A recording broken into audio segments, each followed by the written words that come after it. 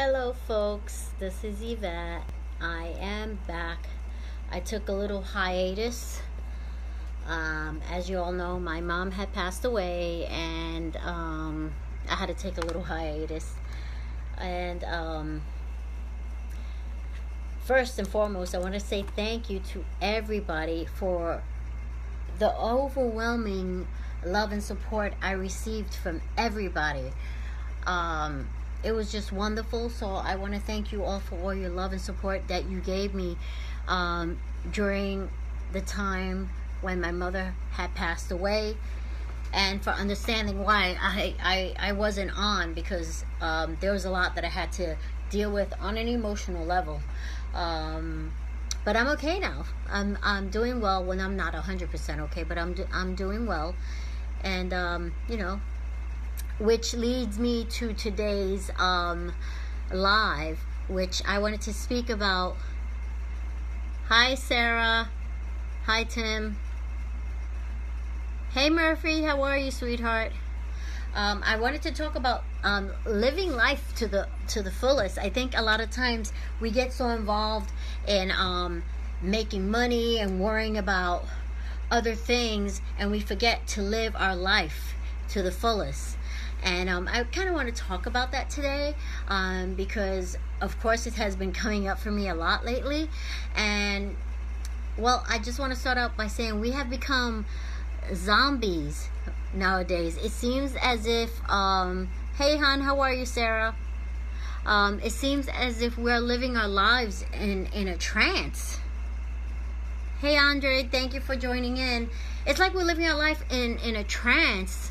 Um, and, we're like zombies uh, doing the same things day in and day out while being stuck in various routines that have accumulated during the years. We fall into this rut.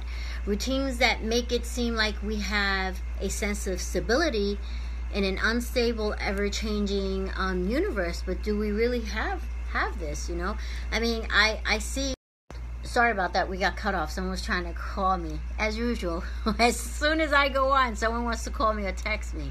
You know, um, so like I was saying, we we tend to have this this sense of stability, but we really fall into a rut, and we forget to live our lives. We start worrying about money and this and that, and yeah, money is great to have money and all these things, but health is more important than that because you can't make money if you don't have your health peace of mind as well. And I mean, looking and thinking about all these celebrities that took their lives recently, like Kate Spade and Anthony Bourdain, which was like, Jesus, holy smokes.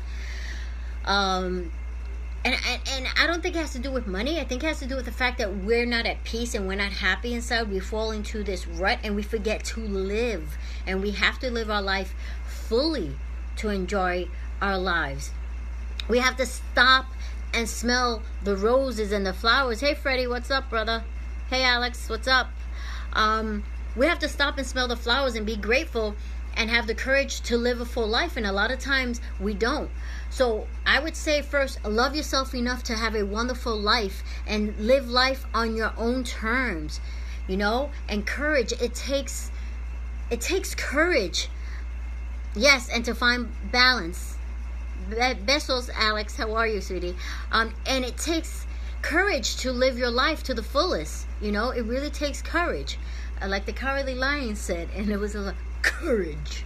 Anyway, um, nothing more, nothing less. This sounds like rather minimalist and easy to cope with, but lack of courage is a key factor that prevents most people from living their lives to the fullest. We tend to have so many false fears you know? Oh what if if i do this? Oh if it doesn't work out. So what if it doesn't work out? You try again until you you get what you want.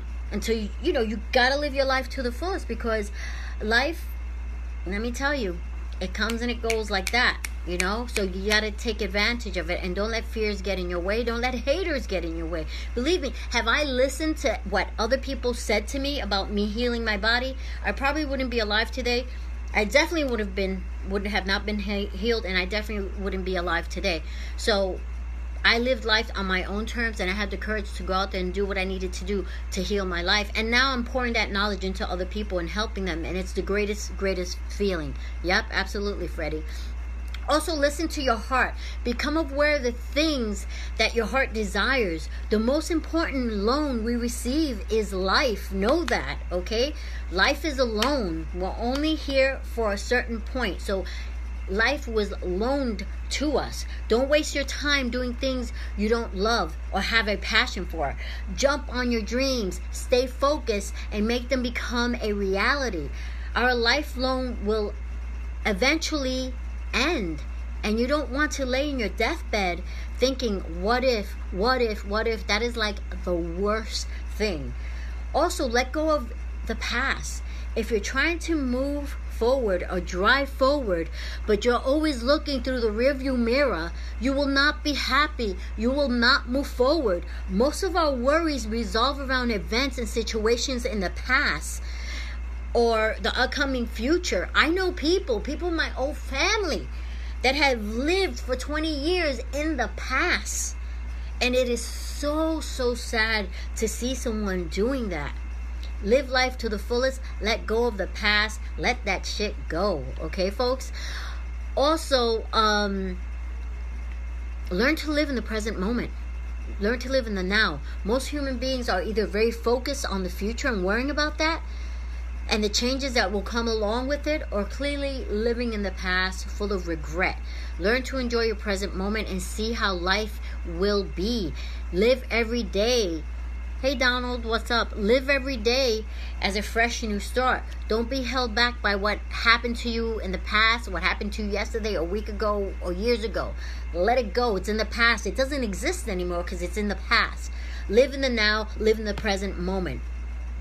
Yes, it is true, Tim. Very true.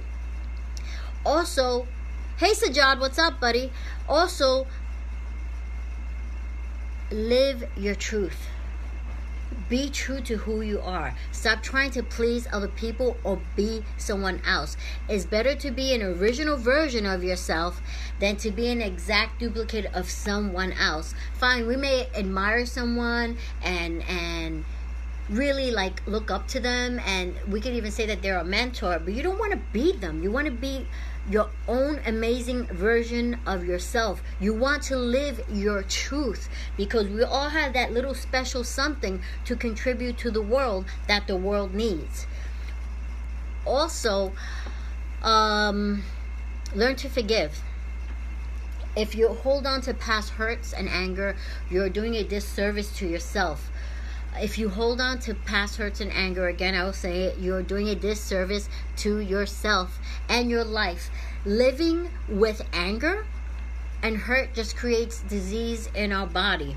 And those folks who don't know that watch my videos and I talked a lot about that about how holding on to certain emotions and things from the past can create disease in our body, dis-ease in our body. So watch that. Let go of the past, okay? Um, you don't need to hold on to it and learn to forgive. Okay, learn to forgive because it's very important. Make the most of your life and live it to the fullest and learn to forgive and be proactive. Stop waiting for others around you to do something or to give you permission. Instead, take action for yourself. Take action for the things that you want to create in life and create your own opportunities you you can't wait for opportunities. You can go out there and create your own opportunities okay? Um and there are opportunities out there but if not create your own opportunities you know? So many people have done so many things by creating their own opportunities and it's very empowering to others and it's very inspirational to others. Also be committed to your growth the higher your consciousness level, the richer your life experience will be. Achieving a higher conscience comes from your commitment to your growth. So work on yourself. Um, grow, read books, listen to CDs, do things to become a better version of yourself, and just live in your truth and be happy. Just be happy and live life to the fullest because, folks, we're not around for a long time, like I said. You know, life is the greatest loan that we are given. Anyway, this is all I have to share. Hey, Victor, how are you? This is all I have to share today. I haven't been on for a while. Like I said, my mom had passed away, and um, you know, I was um dealing with that and stuff. But I know my mom is in a better place and she's at peace now. Um, but anyway, this is all I have to say for today and share with you folks. You can follow me on YouTube, which is Yvette LaBoy Wellness Coach. On Facebook, my business page is Yvette LaBoy, Lupus Wellness Coach. On Instagram, I am One Holistic Diva. On Twitter, I am Holistic Gal. I am Yvette LaBoy from Yvette LaBoy Don Hey, hey Lexington Lou, how are you? Um, I am Yvette LaBoy from YvetteLaBoy.com. We inspired women to get healthy and transform their lives because, and men as well, because we want you to become that fabulous diva and divo you were meant to be. Happy Father's Day to all the dads out there and all the moms who had to step up and be both. Oh, you're welcome, Tim. I'm glad that it, you found the information helpful. Um, I'll see you all next week. God bless. And next week, I'll be doing a video, one of my wellness videos. Okay? Thank you so much. Take care and God bless. Have a great week.